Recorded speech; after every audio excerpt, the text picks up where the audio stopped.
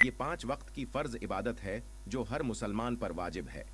नमाज़ का मकसद अल्लाह ताली की बंदगी, ज़िक्र और अपनी हाजात का पेश करना है। नमाज़ के ज़रिए मुसलमान अपने रब के करीब होते हैं और अपनी रूहानी तरबियत का सामान करते हैं। नमाज़ के अवकात नमाज़ की पाँच अकसाम हैं जिनके मखसूस अवकात हैं। वन, अब फजर की नमाजा।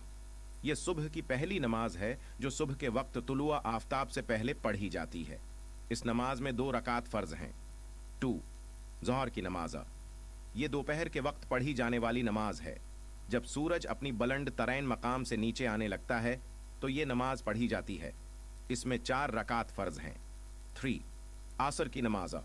ये शाम की नमाज़ है जो सूरज गरूब होने से पहले पढ़ी जाती है।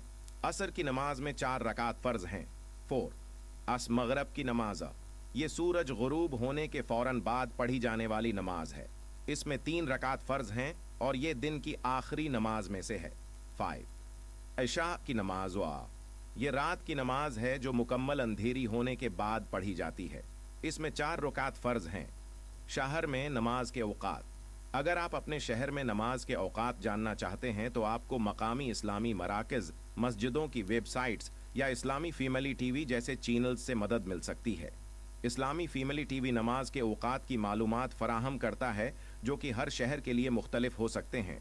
नमाज़ एक मुसलमान की ज़िंदगी का अहम हिस्सा है। ये न सिर्फ़ अल्लाह की इबादत का